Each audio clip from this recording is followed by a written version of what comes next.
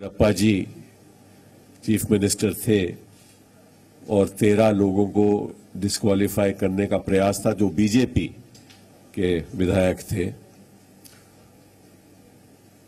जब मामला supreme court तक पहुँचा तो सुप्रीम कोर्ट ने स्पीकर साहब और उस उस समय स्पीकर साहब भी बोपैया जी थे। ये निर्णय लिया कि उनके एक्शंस मेलाफाइड है। तो हम नहीं चाहते थे कि वही प्रोटेम स्पीकर क्योंकि हमारा हमारी सोच ये थी कल तक जब हम सुप्रीम कोर्ट में गए कि जो कन्वेंशन आज के दिन लागू है लोकसभा में भी लागू है कि the senior most member of the assembly, as in the senior most member of, uh, of, of, of, of parliament is. Uh, तो जब हमने ये बहस की और सुप्रीम कोर्ट को ये बताया तो सुप्रीम कोर्ट ने कहा हमसे कि अगर आप ये चाहते हैं कि किसी और स्पीकर को वहाँ बैठाया जाए तो निश्चित रूप से हमें उनको सुनना पड़ेगा नोटिस देना पड़ेगा। और अगर नोटिस देंगे तो नेचुरली फिर क्या होगा कि सुनवाई पोस्टपोन करनी पड़ेगी। तो ये विकल्प हमारे सामने था कि पोस्टपोन करवाएँ, या अभी हम तो चाहते थे कि चार बजे तुरंत ट्रस्ट वोट हो तो हमने कहा कोई बात नहीं, कोई प्रैक्टिकल सोल्यूशन ढूंढा जाए। तो इसलिए हम जब बहस कर रहे थे तो इस दौरान में एडिशनल सोलिसिटर जनरल ने कहा कि साहब, ऐसा है कि हम ये proceedings videograph local channels live दिखाएँगी। और और क्योंकि हम, हमारी मांग तो केवल ये थी कि जो वोटिंग प्रोसेस है, मतदान का जो प्रोसेस है, वो ट्रांसपेरेंट होना चाहिए, पारदर्शी होना चाहिए। तो जब प्रोसीडिंग्स वीडियोग्राफ होंगी और लाइव फ़ीड दिया जाएगा लोकल चैनल्स को और चैनल्स को तो फिर इसमें कोई हमें आपत्ति नहीं है कि कोई भी वहाँ बैठा हो कोई फ़र्क नहीं पड़ता क्योंकि हम चाहते हैं कि चार तारीख चार बजे आज ट्रस्ट वोट पे मतदान हो। तो जब ये स्टेटमेंट एडिशनल सोलिसिटर जनरल से आई तो हमने कहा कि हम अपनी याचिका की कोई भी प्रेयर प्रेस नहीं करते। केवल इतना कहेंगे को, कोई और एजेंडा नहीं लेना लेना चाहिए इस दौरान में। प्रोटेम स्पीकर कोई और एजेंडा आइटम ना ले। केवल ओथ एडमिनिस्टर करें और उसके बाद मतदान हो ट्रस्ट वोट पे और डिवीज़न हो।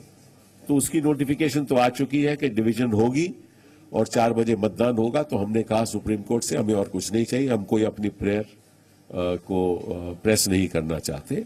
ये हमारा रवैया रहा। और इस बात पे हम खुश हैं कि सारा प्रोसेस पारदर्शी तरीके से होगा और जो जीतेगा वही सिकंदर। अब अब सिंह सिंघवी जी कुछ सिंघवी जी सिंघवी जी कुछ कहेंगे उसके बाद? देखिए, इसमें एक बात समझना अत्यंत आवश्यक है। जितनी बातें हो रही हैं पिछले चार पाँच दिन से, उनका मूल उद्देश्य क्या है? मूल उद्देश्य एक शब्द है, पारदर्शिता, ट्रांसपेरेंसी। उसके कई आयाम हैं। एक तो जो बैठे व्यक्ति वो निष्पक्ष हो। अगर उसकी निष्पक्षता में संदेह है तो उसको काउंटर करने के लिए कोई सेफगार्ड चाहिए। वो सेफगार्ड का नाम वीडियोग्राफी हो सकता है, उस सेफगार्ड का नाम टीवी रिकॉर्डिंग हो सकता है, लाइव फ़ीड देना हो सकता है। तो अगर आप देखें हमारी जो प्रार्थनाएँ थी आज की याचिका में, उसमें सभी प्रार्थनाएँ एक शब्द में समावेश हो जाती हैं, और वो शब्द है ट्रांसपेरेंसी पारदर्शिता। तो जब हमारी दलीलों के दौरान स्वतः ये जब ऑफ़र हुआ तो निश्चित रूप से एक तरह से मैं समझता हूँ हमारी ज़्यादा से ज़्यादा दलीलों मीट हो गई इस, इस शब्द में। और हमें जब ये उद्देश्य मिल गया तो उसके विरुद्ध जो मान्य न्यायाधीशों ने कहा वो भी हमारी बहुत उत्तम कंसर्न की बात थी और वो ये बात समझ गए थे। कौन चाहता था ट्रस्ट बोर्ड जल्दी? आपको याद है रोदगी साहब ने कहा दस दिन सात दिन सोमवार। कम से कम सोमवार के पहले नहीं करें। तो ये उद्देश्य आज भी न्यायाधीशों ने बोला कि साहब आप देख लीजिए, अगर आप चाहते हैं जल्दी या बाद में, जल्दी कौन चाहता है? मेरा मानना है कि जल्दी वो चाहता है जिसको अपने ऊपर विश्वास है जीतने का। तो हम किसी भी पनाह पे आज के चार बजे वाले ट्रस्ट वोट को विलंब नहीं कर सकते थे, विलंबित नहीं कर सकते थे। उस उद्देश्य से प्लस जो पारदर्शिता का उद्देश्य है, जब वो दोनों में मेल हो गया तो स्वाभाविक है, मैं समझता हूँ। और सही है कि हमने बाकी याचिका की कोई भी प्रार्थना को प्रेस नहीं किया। और इसलिए अंत में निर्णय ये हुआ है कि इसका संपूर्ण निर्णय क्या है? उपलब्धि क्या है? इस सब तीन दिन के भागदौड़ के बाद क्या उपलब्धि है?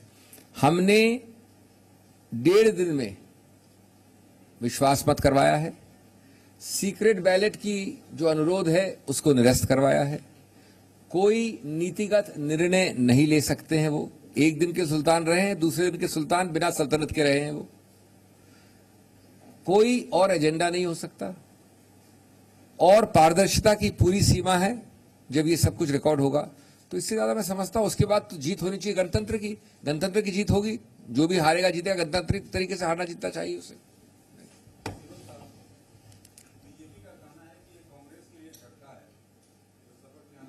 झटका कैसे है? वो तो चाहते थे कि पंद्रह दिन के बाद हो जैसे गवर्नर साहब ने अनुमति दी थी। पंद्रह दिन का फिर मुकुल रोहतगी साहब ने कहा सात दिन का दीजिए। और फिर कम से कम सोमवार का दीजिए। और सुप्रीम कोर्ट का नहीं कल होगा और इस पे कोई बहस नहीं होगी। तो जीत किसकी है और हार किसकी है? लेकिन अ, हाँ? जब जब उन्होंने कह दिया वीडियोग्राफी होगी तो फिर प्रोटेम का मतलब ही क्या बदलने का? जब साफ़ तरीके से कौन कहाँ वोट कर रहा है, कौन किसके पक्ष में है, वो साफ़ सारे देश को दिखाया जाएगा तो फिर प्रोटेम का तो मायना नहीं रहता ना। इसलिए हमने प्रेस नहीं किया। लेकिन इस बात का हमें दुख, एक बात का ज़रूर हमें दुख है। प्रधानमंत्री जी हमेशा कहते हैं, ना खाऊँगा, ना खाने दूँगा। उनको ये भी कहना चाहिए, ना खरीदूँगा, ना खरीदने दूँगा। ये उन्होंने आज तक नहीं कहा।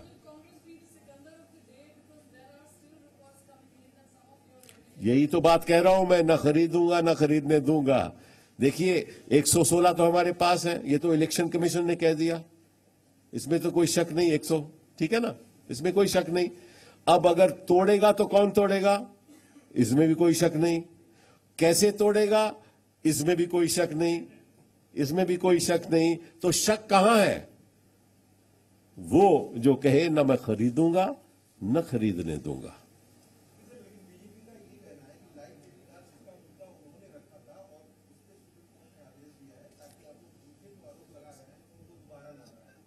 ये बात मान लीजिए आप।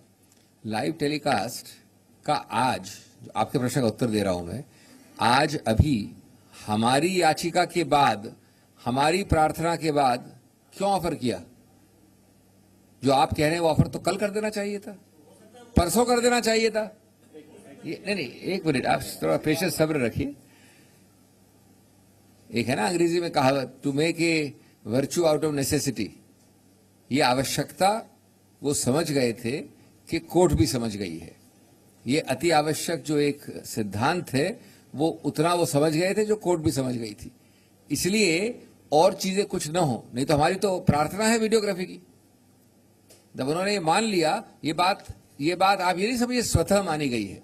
ये मानी गई है हमारी याचिका के आधार पे। ये मानी गई है हमारी मांग के आधार पे। ये मानी गई है हमारी बार बार ये कहने से कि भाई जो व्यक्ति है उस पर संदेह है तो कम से कम उस संदेह को कम करने का एक तरीका व्यक्ति को हटाओ। व्यक्ति को नहीं हटाओ तो कम से कम पारदर्शी रूप से वीडियोग्राफी करो।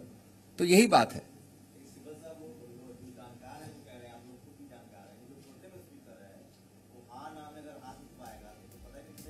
नहीं, ऐसा है कि रूल्स के मुताबिक सुप्रीम कोर्ट का ये भी ऑर्डर है कि ये जो वोटिंग मतदान होगा, ये रूल्स के मुताबिक होगा।